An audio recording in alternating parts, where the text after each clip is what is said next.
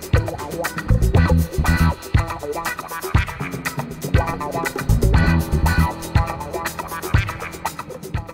volta com o regimento interno, de volta com as sessões de julgamento no TRT da terceira região.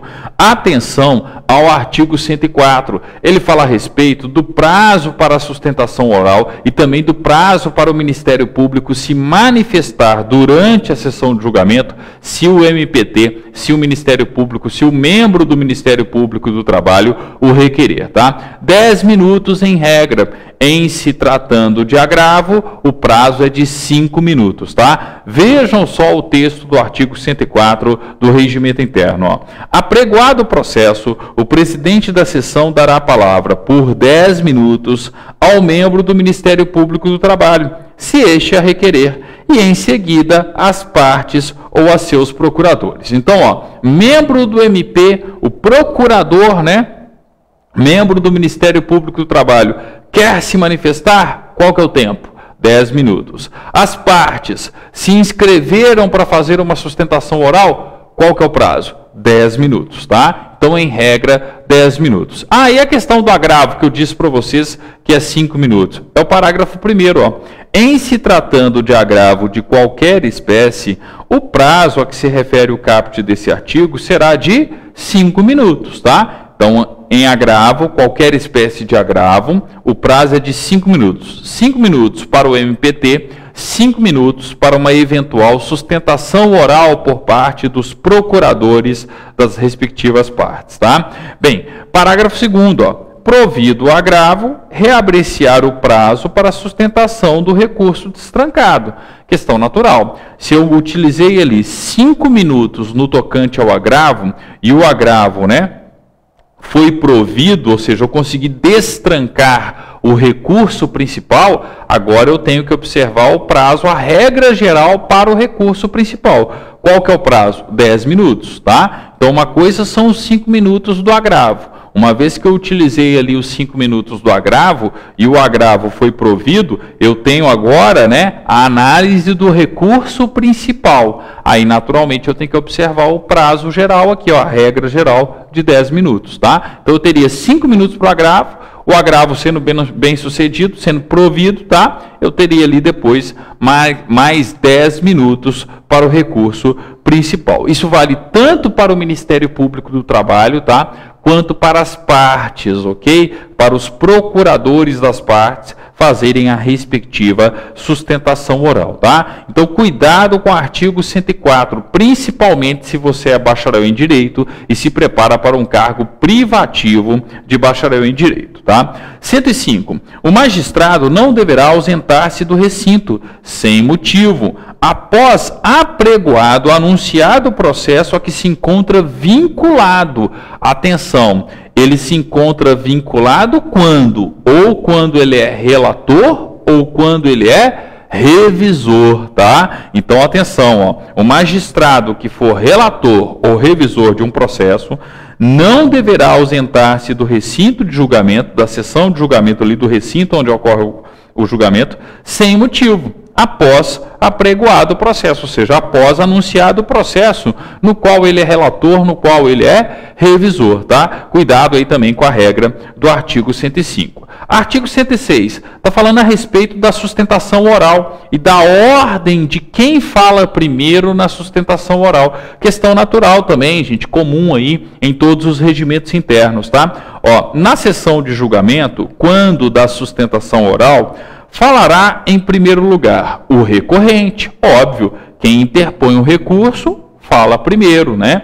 Quem não queria a interposição daquele recurso, porque já saiu ganhador na, na, na, primeira instância, né? Junto à Justiça do Trabalho de primeira instância, fala depois. Então, primeiro o recorrente, obviamente, né? Depois o recorrido, tá? Inciso segundo, o autor se houver dois ou mais recursos, salvo a hipótese de recurso adesivo, caso em que falará após o recorrente principal. Então, o autor, né? O autor ali, ó, ele fala, né, inicialmente também, ó, se houver dois ou mais recursos, o autor do respectivo recurso, salvo a hipótese de recurso adesivo. Se eu sou um autor de um recurso adesivo, ou seja, que ele está atrelado, é acessório a um outro recurso principal, eu vou falar depois do recorrente principal, tá? Então, ó, salvo a hipótese de recurso adesivo caso em que falará após o recorrente principal. Inciso terceiro, o representante da categoria profissional em dissídios coletivos instaurados de ofício. Então, tive um dissídio coletivo instaurado de ofício. Quem fala primeiro ali em termos de sustentação oral? Ah, o representante da categoria profissional dos trabalhadores ali, né, em dissídios coletivos instaurados de, instaurados de ofício, tá? Inciso quarto, ó, o autor ou requerente em processos de competência originária. Então, processo de competência originária, quem fala primeiro? O autor ou o requerente, tá? Atenção, cuidado com isso aí, ó. Artigo 107. Iniciado o julgamento, somente caberá a interrupção nos casos previstos nesse regimento. Então, em regra, não se interrompe, apenas nos casos previstos no regimento interno. 108. Um magistrado, mediante prévia solicitação ao presidente do órgão julgador, poderá fazer uso da palavra, não interrompendo, porém, aquele que estiver no uso dela. Questão óbvia, né? Manter a ordem e a própria educação, né? Afinal de contas, um outro colega, um outro desembargador está fazendo uso da palavra. Parágrafo único. É facultado ao advogado prestar esclarecimento sobre matéria fática, desde que autorizado pelo presidente, tá? Aqui no o advogado não está fazendo uma sustentação oral, ele está esclarecendo um fato ali. O desembargador falou, tá? E aí, com autorização do presidente, tá? O, o, advogado vai lá e esclarece um fato referente à fala do respectivo desembargador, por exemplo, tá? 109, ó. Iniciar, iniciar-se-á, desculpe, né? Iniciar-se-á a votação pelo relator seguindo-se o voto do revisor e dos demais magistrados pela ordem de antiguidade, tá? E 110, ó, o magistrado não poderá abster-se de votar, salvo em caso de suspeição ou impedimento. Então, em regra, todos votam, tá? A não ser em caso aí de suspeição ou impedimento, tá? Então, ó, cuidado do artigo 104 até o artigo 110 aí, nós temos questões importantes, já separei o mais importante aqui para vocês, ó. Apregoado o processo, anunciado o processo, ah, o presidente do órgão ou remete para o MPT, para o MPT se manifestar em 10 minutos, tá? Caso este a requeira, porque não necessariamente isso vai acontecer, tá? E lembrando, em caso de agravo, o prazo ali do MPT para o MPT se manifestar, né, oralmente se manifestar, é de 5 minutos, tá?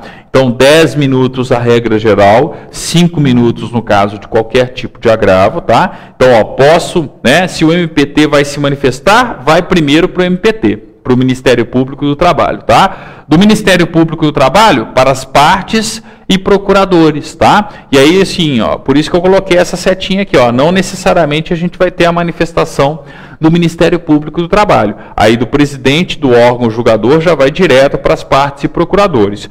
Quando tiver, depois do Ministério Público do Trabalho, é que eu vou ter a sustentação oral por parte dos procuradores representando ali as partes do processo, tá? Regra geral, sustentação oral em 10 minutos. Agravo, 5 minutos. Mesma regra né, do Ministério Público do Trabalho, ok? Aí a gente viu, né? Eu tenho a ordem aí na hora de falar que ó, o artigo 106 entra aqui, ó. Quem fala primeiro? Ah, o recorrente. Ah, o autor ou requerente em processo de competência originária. Então aqui, ó, eu vou analisar o artigo 106, né? Ah, iniciado o julgamento, caberá interrupção só nos casos previstos no regimento, artigo 107, tá? 108. O magistrado, depois de ocorrido isso aqui, pode se manifestar tá? Então posso ter uma manifestação de um desembargador, ou o advogado pode ali esclarecer algum tipo de matéria fática, desde que autorizado pelo presidente. Aí a gente vai para o mais importante, ó, que é a votação, tá? E quando eu falo de votação, sempre vou observar essa ordem aqui, ó. Primeiro voto o relator, depois voto revisor, quando houver revisor, nós já vimos que nem sempre nós temos o revisor, depois vota o vogal ou os vogais, né, os demais desembargadores que participam do julgamento daquele órgão julgador. Feito isso, né, feitos os respectivos órgãos, votos, tá? Nós teremos aí posteriormente a publicação do acórdão, né? A decisão ali foi proferida, né? E futuramente nós teremos a publicação do acórdão. A gente vai estudar, né?